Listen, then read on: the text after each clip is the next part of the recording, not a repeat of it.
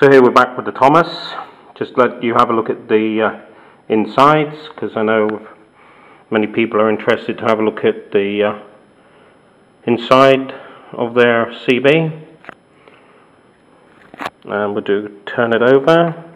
But we must be careful. Look at the incredibly thin speaker wire. Just unbelievable thin wire. Jesus.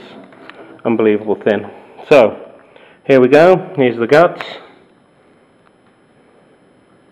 With the uh, chip and the programming of it. It's got a number on it.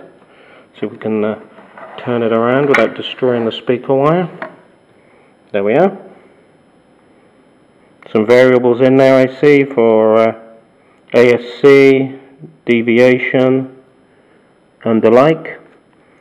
And for those of you that like to be uh, naughty, ooh, uh, there's the jumper and there's the white wire. Move the jumper to the first two, cut the wire.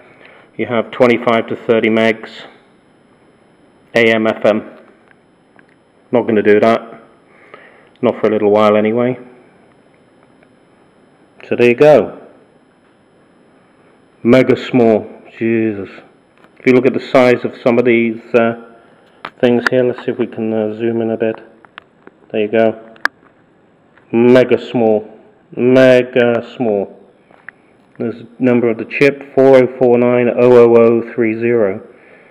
And look at this. It's like thinner than bell wire. The speaker wire.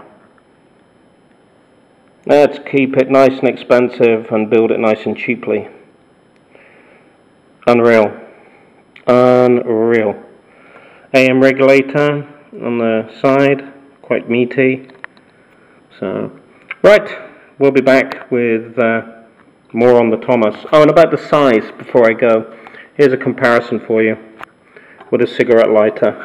So if we turn it around, there you go, that's the size in a comparison. Catch you later. Ciao for now.